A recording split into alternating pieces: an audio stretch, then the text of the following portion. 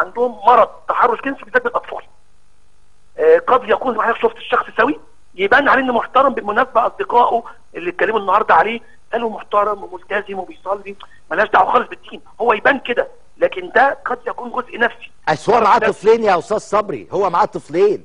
ومعاه طفلين. يعني لكن هي حالات كده يا فندم. والأب اللي بيعتدي على طفلته لا حول ولا قوة بنته وهو أبوها وهو سندها وهو حمايتها. هي البنت اللي تم التحرش بيها دي أو الطفلة دي عندها كام سنة يا أستاذ صبري؟ آه، المعلومات حتى الآن حدود ست سنوات. الفيديو اللي جالنا من الشارع ال- المتصور قبل دخولها للأسف الصور مش واضحة قبل دخولها ال- العقار اللي للأسف هذا الشخص مش عايزين نقول بني آدم ده آه، اعتدى عليها آه، هتك عرضها داخله كانت جاية من الشارع زي ما حضرتك قلت طفلة الواضح من اللقطات الأولى إنها كانت بتعمل دي في إشارة ميدان الحرية. وهو استدرجها بطريقة أو بأخرى.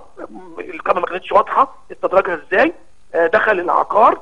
العقار بالمناسبة في بعض الأمور البنيه يعني حاجة خاصة تقريبا تحت الترميم أو الإصلاح أو ما شابه ذلك. هو استغل إن العقار شبه فاضي وإن الشقة الأولانية فيها معمل تحاليل. آه، دخل وأخذ الطفل على جنب. شفت في الفيديو.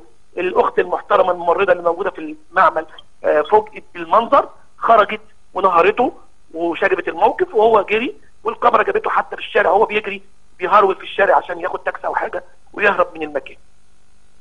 هي البنت عندها كام سنة؟ ما ما عرفتش. ست سنوات ست سنوات تقريبا. ست سنوات؟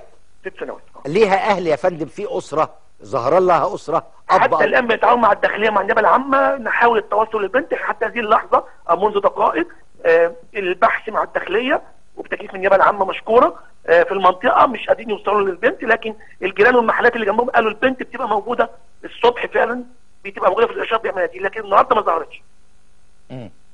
قد يكون تحت ضغط. وبالتالي وبالتالي هل المجلس القومي للمرأة يا فندم هل المجلس القومي للأمومة والطفولة هيبقى هو بمثابة الولي بتاعها في تحريك الدعوة وفي محا... وفي يعني الدفاع عنها؟